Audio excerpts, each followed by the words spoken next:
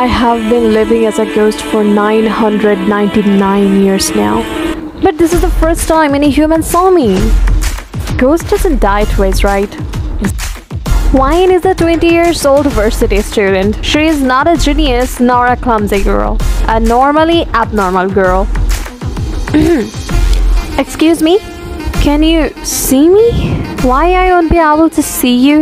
It's not like you're a ghost.